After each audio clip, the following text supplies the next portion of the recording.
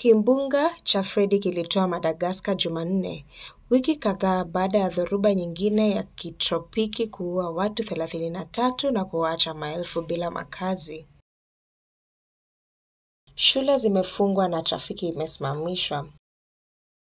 Hapo awali, fredi ilisababisha uharibifu fulani huko Mauritius na kusababisha mafuriko katika hoteli za pwani.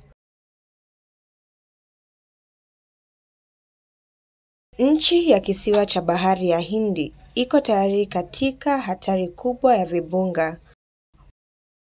Nchi hizi hukumbwa na wastani wa vibunga 1.5 kila mwaka, kiwango cha juu zaidi barani Afrika kulingana na Ofisi ya Umoja wa Mataifa wa kuratibu masuala ya kibinadamu.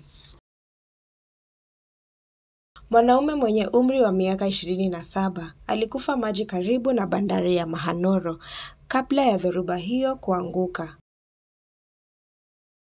Maafisa pia walisema watu elfu saba walikuwa wamehamishwa mapema kutoka kwa eneo la pwani.